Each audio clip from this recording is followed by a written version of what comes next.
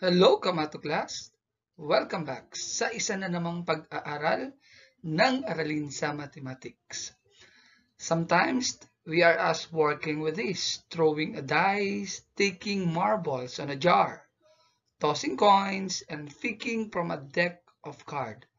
And we usually apply the classical formula of the probability of event which is equal to the number of event over the number of sample space. And we will use that with this presentation.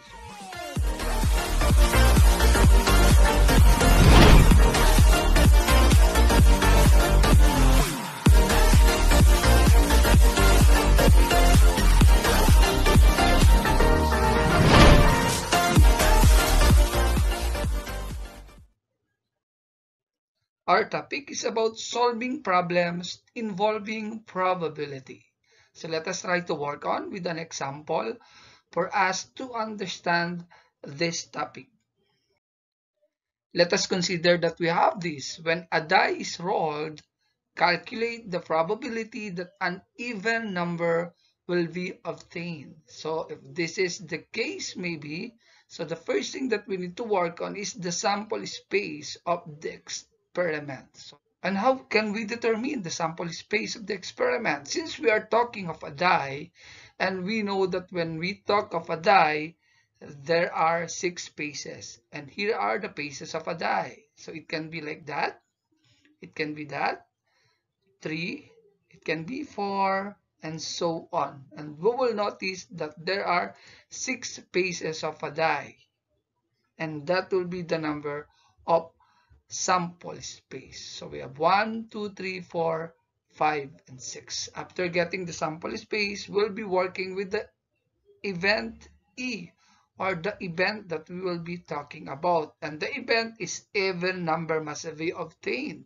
So talking of this, the even number are 2, 4, and 6. Hence, we have that event is 2, 4, and 6. And using this formula, the probability of event is equal to the number of event over the number of sample space and the number of event as we know is 3 and the number of sample space is 6.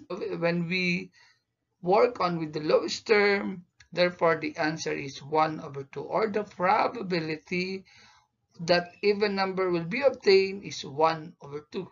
Let's have another example. How about this one?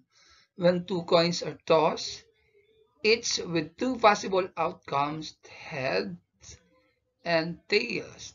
Calculate the probability that two tails are obtained. So working with this, so again, we'll be working with the sample space. At ang mga sample space natin yan, we have the head and tail. Pwede rin namang head and head. Pwede namang tail and head. Pwede rin tail and tail. Hence, we have four sample space. Then after that, we'll be working with event E. So, two heads are obtained. Kasi yun yung tinatanong, two heads. So, ang two heads natin ay isa lang. Ito yun, no? Okay, this one. So, therefore, there is only one event. And using again the formula of the probability, so we are going to substitute the number of event which is 1 and the number of sample space which is for 1, 2, 3, and 4. And that is written already in the lowest term. And that's the probability that two tails are obtained when we toss a coin.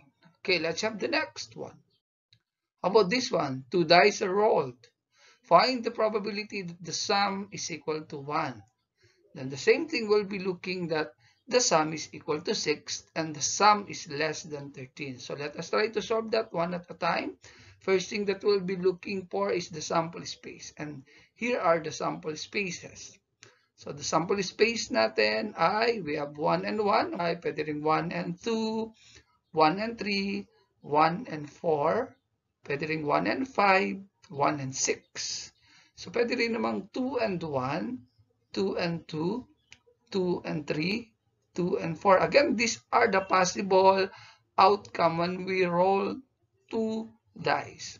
2 and 5, 2 and 6, 3 and 1, 3 and 2, 3 and 3, 3 and 4, 3 and 5, 3 and 6, 4 and 1, 4 and 2, 4 and 3, 4 and 4, 4 and 5, 4 and 6.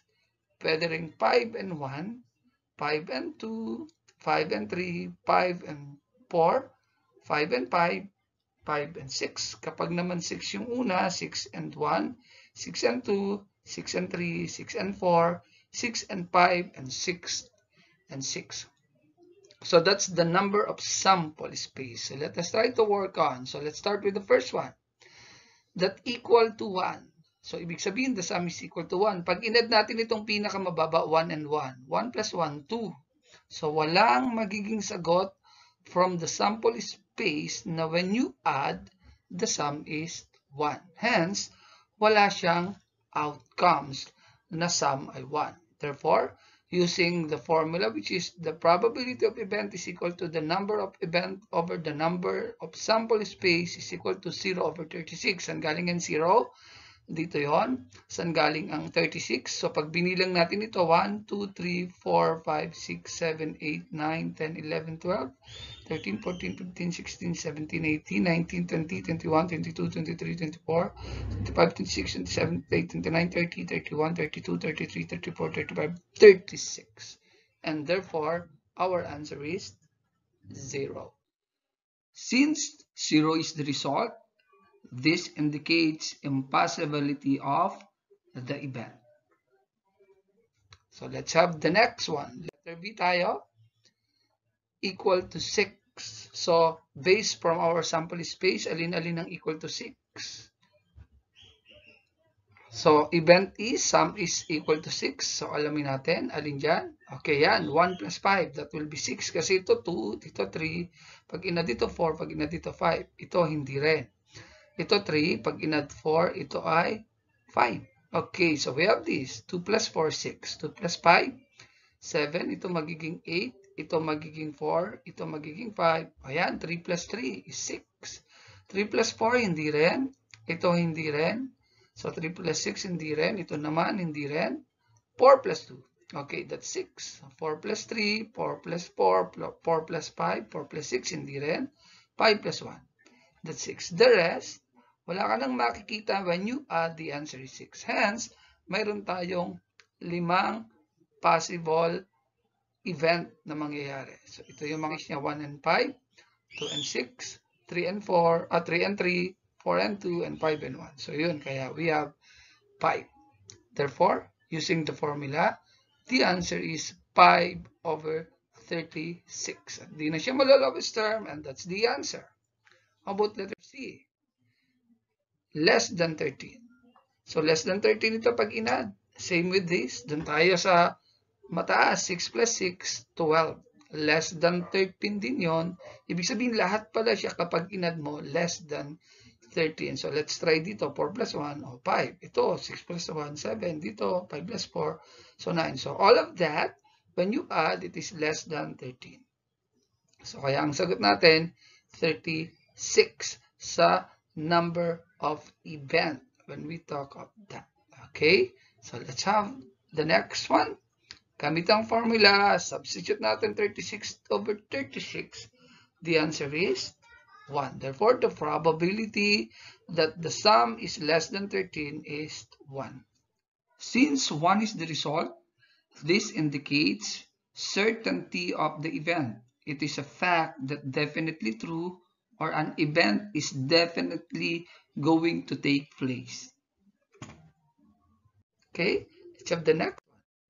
How about this one? A jar is stored four red marbles, seven yellow, yellow marbles, and 10 blue marbles. What is the probability that a marble taken at random from the jar would be blue? So let's have this. Kunyari, ito yung ating jar. So ayan, may mga iba't ibang kulay ng marble. We have the blue, the yellow, and the red one. So let's have this one. So, let's have the solution. Gamit ngayon ng table kasi pwede rin tayong gumamit ng table.